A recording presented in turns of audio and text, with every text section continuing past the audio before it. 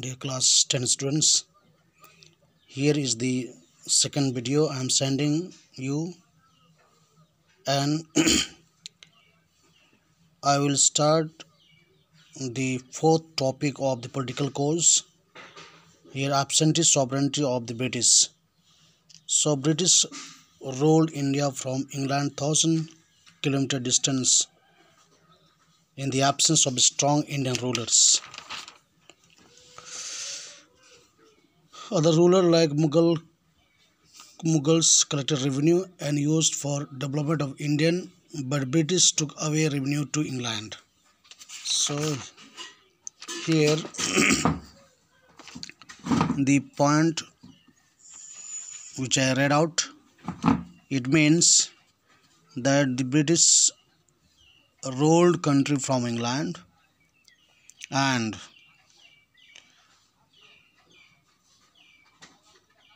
during the time of Mughals.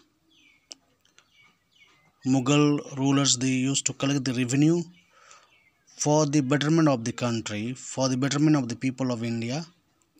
But we see the British just they're doing opposite to it. They're taking away all the resources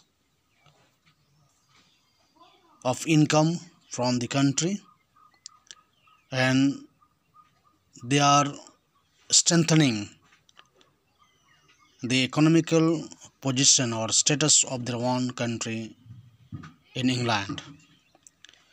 Now I am starting the new point that is socio-religious cause.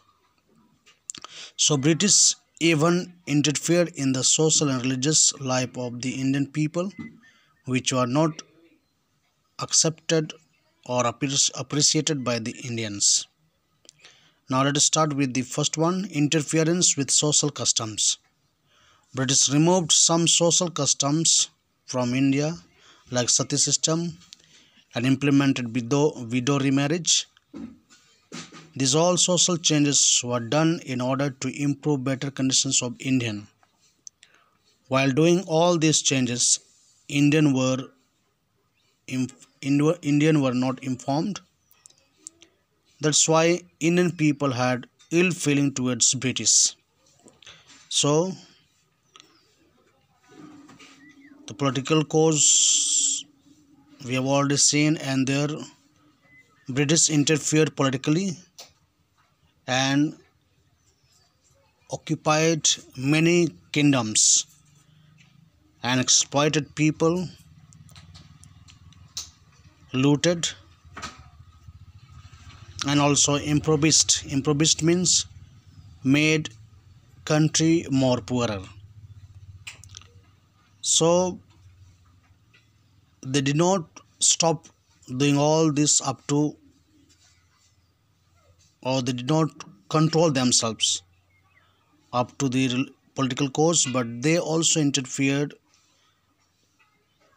in the social or religious matters.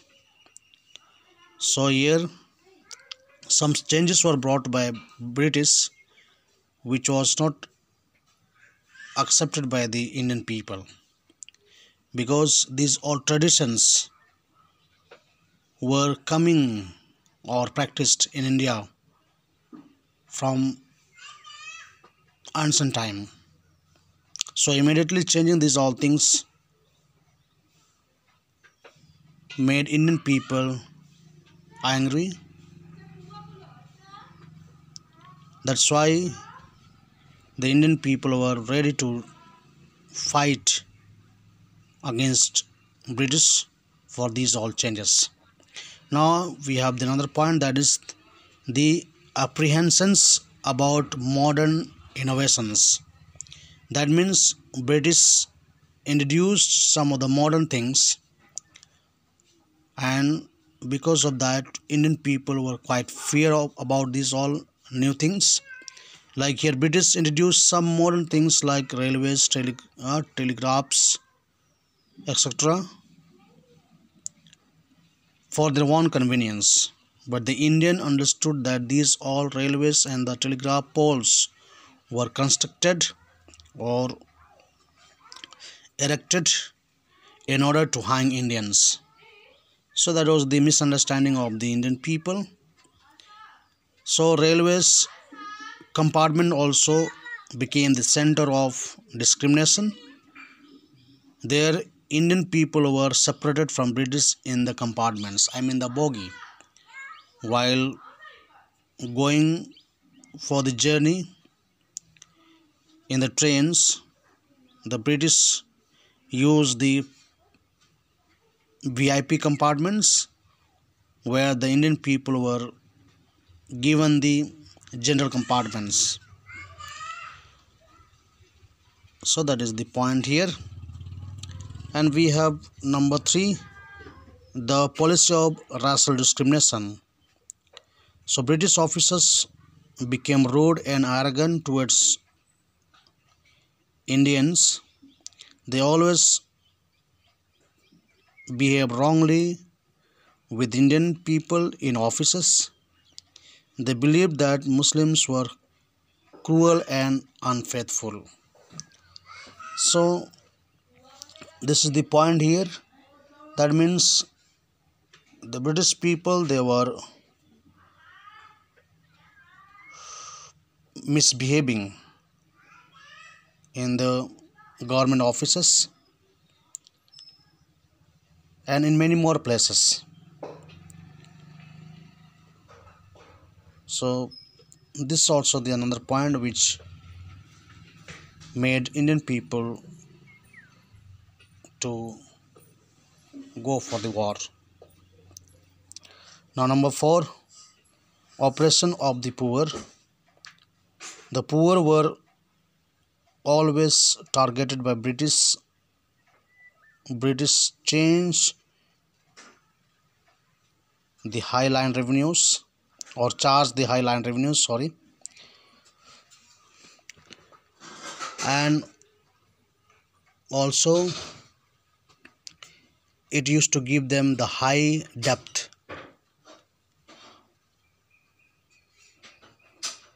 And if any indian is not able to pay that depth then with interest they used to take those all depth from the bit from the indian side and economically indian people were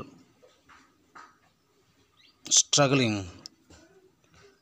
to fulfill or to complete this all depth. Now we have the activities of missionaries. Five number. In 19th century, British began to interfere with the local religious and social customs.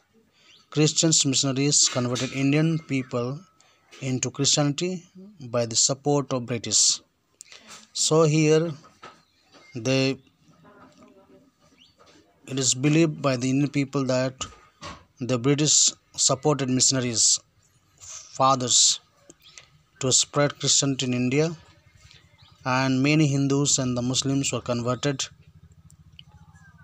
by the Christian priests into Christianity. So they felt that their religions were in in danger. So, to protect their own religions, they became they went against the British, and that's why we see the War of 1857. Now, taxing religious places. This is another point that even British to take the taxes from the religious places like uh, temples, mosques, and the donations which were given to the, these temples. The British captured those donations, and the Maulvis and then the Pandits, Pujaris, Brahmins, they were not happy with these all illegal activities of British. Now we have some economical cause. The War of 1857 took place due to British economic exploitation. British took away to England all the economic resources and destroyed them. So, here the first point is exploitation of economic resources. India became the agriculture center to provide British raw materials for their industries. India exported raw, raw cotton, silk, indigo to British industries. So now the Indian industries or the factories were struggling to get the raw materials because all the raw materials which were available in the country they all were taken to England. And that's why the Indian industries were facing a lot of liking of the raw materials. And economically they could not make money. And slowly due to those reasons the indian factories were shut down. And the people who are doing work in these factories were jobless. Now like here we have some of the points in the same topic. British improved ready-made goods to indian and sold them in high price to get benefit or to make more income. So this way british ruined indian industries because india liking raw materials the people became jobless income of this country reduced. Thank you